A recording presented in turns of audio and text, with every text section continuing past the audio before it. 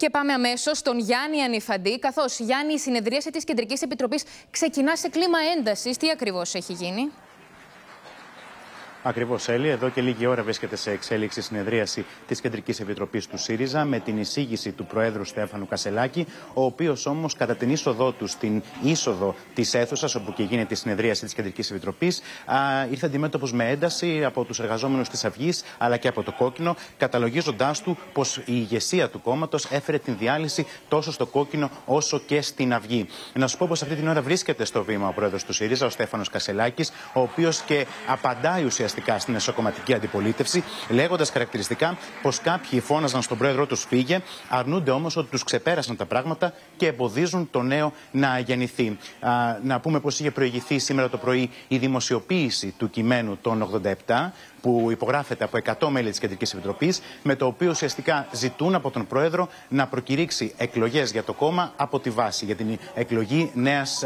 ηγεσίας. Και υπάρχει και το μεγάλο ερώτημα ε, τώρα ακόμη, Γιάννη, είναι το τι θα κάνει και ο Παύλος Πολάκης, ο οποίος άφησε να εννοηθεί ότι σκέφτεται να, ε, να καταθέσει και αυτός πρόταση μομφής.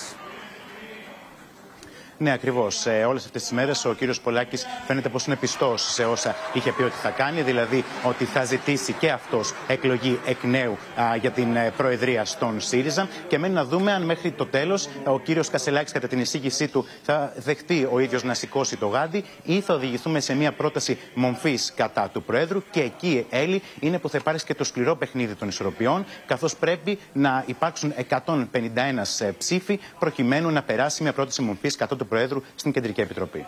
Και για ό,τι νεότερο, Γιάννη, μας ενημερώνεις. Όπως μας είπες όμως και προηγουμένως ο Γιάννης, πριν από λίγο ξεκίνησε την ομιλία του Στέφανος Κασελάκης με φόντο την επιστολή τελεσίγραφο των 100 μελών της Κεντρικής Επιτροπής. Πάμε να δούμε την πρώτη του τοποθέτηση.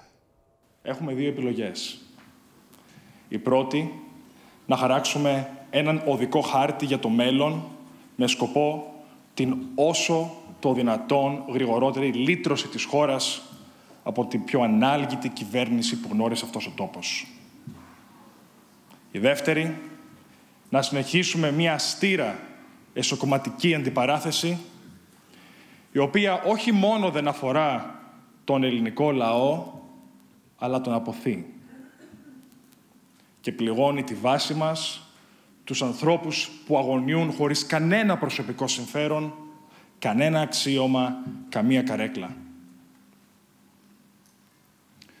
Θέλω να πιστεύω ότι όλες και όλοι επιδιώκουμε το πρώτο και όχι να γίνουμε ο χρήσιμος ηλίθιος της κυβέρνησης της Μητσοτάκη η οποία όσο εμείς ασχολούμαστε αιμονικά με τα εσωκομματικά μας κυριολεκτικά και μεταφορικά καταστρέφει την πατρίδα μας. Πρέπει να φωνάζουμε σήμερα στη Νέα Δημοκρατία «Φύγετε». Κάποιοι φωνάζουν στον πρόεδρό τους «Φύγε».